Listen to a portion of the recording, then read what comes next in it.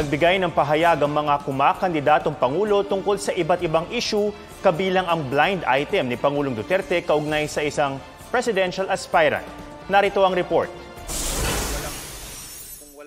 Siniguro na ni Senador Manny Pacquiao ang pagdalo niya sa presidential debate na ikinakasa ng COMELEC. Sabi niya, dapat lahat ng kandidato sa pagkapangulo sumama sa debate. Sa kanyang press conference, sinabi rin ni Pacquiao na bukas siya sa suporta ni Pangulong Duterte.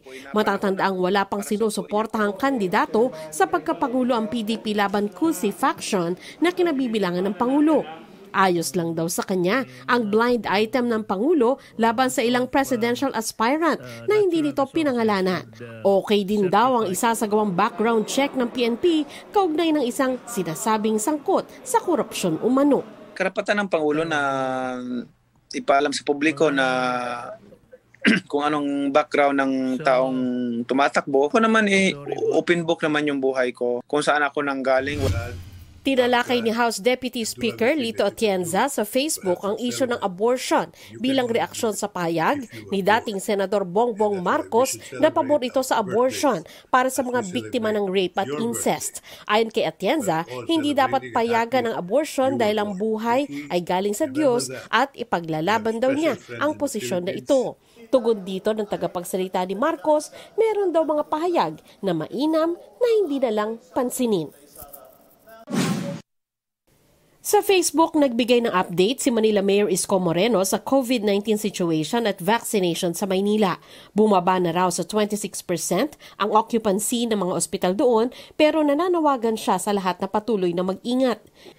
Hinikayat din niya ang publiko na magpabakuna sa drive-thru vaccination sites ng Maynila. Dinagdagan na po natin yung ating uh, uh, capacity rate. O, kung dati-rati po ay 4 to 5 per vehicle hanggat kaya yung buong barangay nyo sasakyan dahil nyo pong dalhin.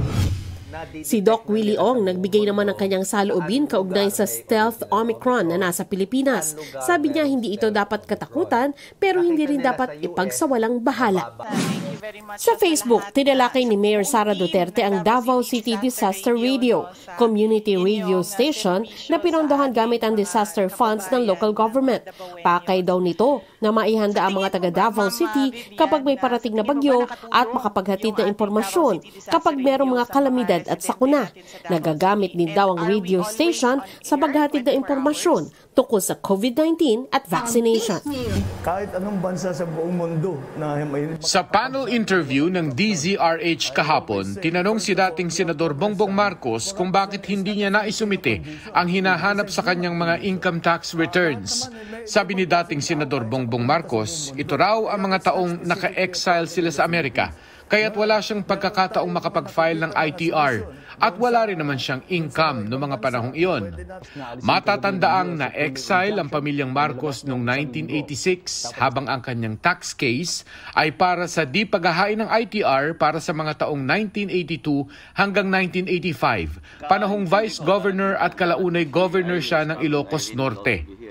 Paglilinaw ng tagapagsalita ni Marcos, may panahon daw noon para makakumply sana si Marcos para sa mga taong hindi siya nakapaghain ng ITR. Pero hindi niya na ito nagawa dahil naka-exile na sila. Sa tanong kung gumamit ba siya ng droga kahit nung kabataan niya, sagot ni Marcos hindi raw siya pwede sa ganun dahil masyado siyang maraming ginagawa. Matatanda ang sinabi dati ni Pangulong Duterte na merong di pinangalan ng presidential candidate na gumagamit umano ng droga. Sabi rin ni Marcos, hindi raw dapat silang pamilya ang sumasagot sa tanong tungkol sa ill-gotten wealth ng kanyang ama dahil gobyerno ng Pilipinas na raw ang kinakausap ng korte tungkol dito. At anuman daw ang desisyon ng korte ay kikilalanin niya. Sinabi rin ni Marcos na may lugar ang pagdedeklara ng martial law pero sa panahon lamang ng gyera dahil kailangan daw protektahan ng lehitimong gobyerno mula sa mga nais pabagsakin ito. Zamora Dumalo sa pagdinig ng Commission on Appointments kanina sina Senador Ping Lacson at Senate President Tito Soto. Sa kumpirmasyon ng ilang general ng Armed Forces of the Philippines, pinaalalahanan sila ni Lacson na maaaring gamitin ng Anti-Terrorism Act para maiwasan ang mga insidente gaya ng Marawi siege. Is even in the preparation stage, even in the planning stage, you can already take action. Unlike uh, during the Marawi siege, you were helpless. I would just like to inform you that uh, there's that provision. no? Yes, sir. So you can uh, effectively preempt or prevent the occurrence of a terroristic act that if and when they conduct arrest, they should be conscious or wary of the safeguards Sa kumpirmasyon naman ni Commission on Audit Commissioner Mario Lipana, pinuna ni Lacson ang mabagal na pagresolba ng komisyon sa mga notice of disallowance.